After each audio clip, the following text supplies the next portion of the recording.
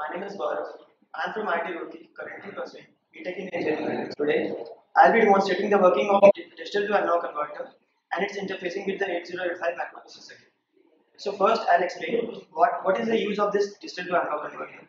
So as we know, all of our devices, uh, like computers, etc., they uh, work on digital signals, but uh, normally we get analog signals.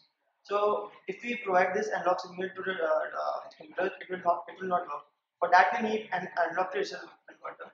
But for the transportation of these uh, this, uh, analog uh, digital signals, we need to uh, we need to convert convert them into analog signals because normal transport, transportation of signals takes takes place through channels. And in channels we cannot uh, transport these uh, digital signals. So hence we need to convert these digital signals to analog signals in order to send them from one place to another. So now i'll explain the basic working of this digital to analog signal, converter so over here we can see that uh, this is a digital to analog converter basic uh, digital to analog converter. It is a 4 bit uh, digital to analog converter. Uh, in my in 8085 uh, we have 8 bit uh, digital to analog converter but the principle behind the working it remains the same.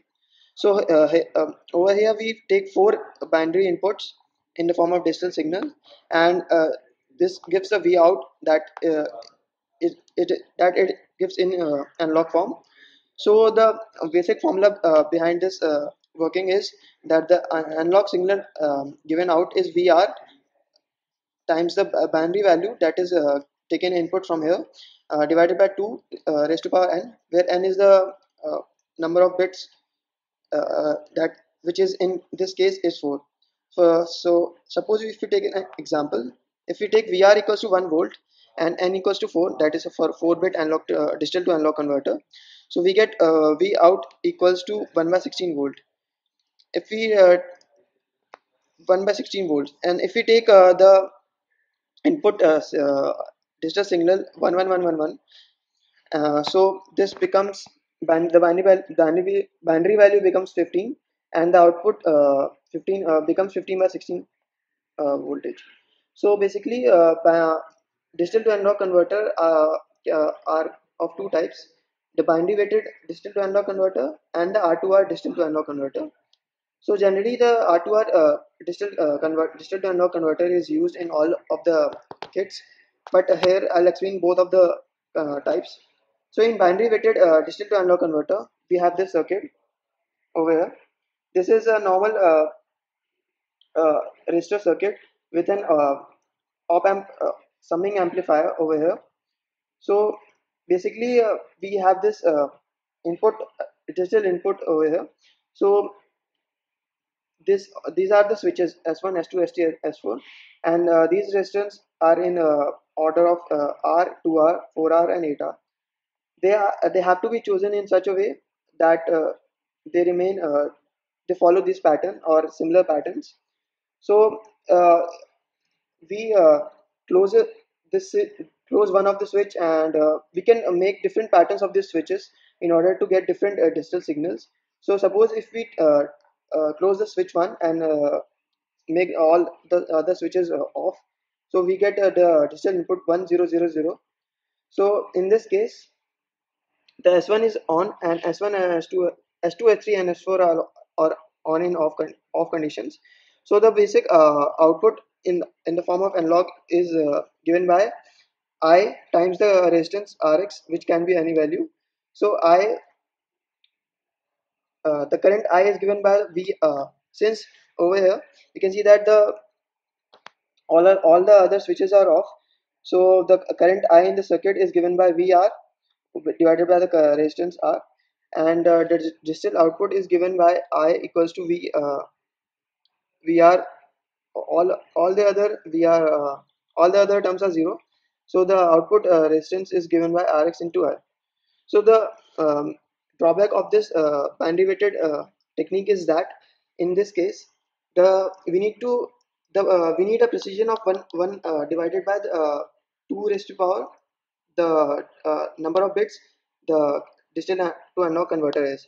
In this case it is one four. It is a four bit digital to analog converter so hence we need, we need a precision of one divided by two raised to power four two raised power four that is one is one divided by 16 which is almost uh, not possible. Uh, I mean, uh, it is almost very difficult to uh, attain such precision.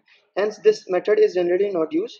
And uh, in most of the digital to analog converter, we use the R2R network-based uh, uh, digital to analog converter technique. So in this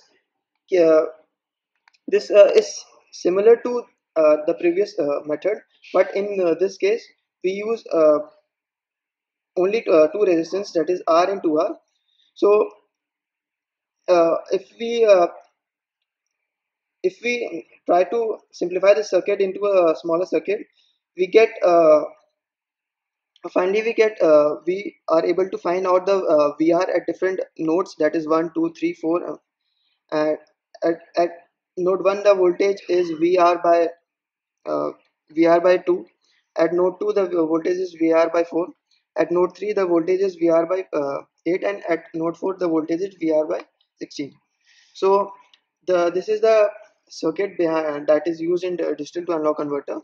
So where you can see that uh, this is similar to the previous uh, weighted digital to analog converter uh, the, different, the difference is uh, in this circuit uh, this uh, the summing amplifier remains the same. So the the same case if we we can have different combinations of these switches in order to get different digital signals. So suppose we take 111 uh, suppose all the switches are closed. So in such a case all all are delivering current. So in such a case i will be equals to vr by 4 plus vr by 8 plus vr by 16 plus v, uh, vr by 18 and uh, the v output will be equals to rx times this current and suppose if we take all the switches are uh, in off conditions in that case i will be 0 then uh, the V output will be zero, which is pretty obvious. So the general, uh, so the general uh, circuit diagram for this R2R uh, method is something like this. The inside this kit we have all this all of this circuit inside this and all of the things remain the same so uh, we can add, we can have different combinations of digital signals which will give output uh, different analog signals.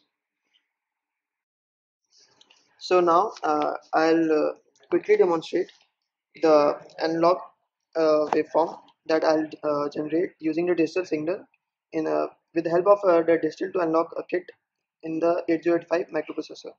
So for uh, this I'll have written this set of mnemonics into the 8085 microprocessor. So I'll quickly, quickly explain the these mnemonics. So the first two lines are for initializing port ABC to the output port. The, the next two lines are to uh, initialize the HL pointer and uh, to set eight different values uh, in the memory locations. So the, the next line, the few lines are for uh, loading the, loading the first weight from the memory location and outputting it in, into a port. Uh, these lines are for generating a delay. Uh, then then these all lines are for uh, decrementing the uh, counter so that the next uh, value can be iterated upon.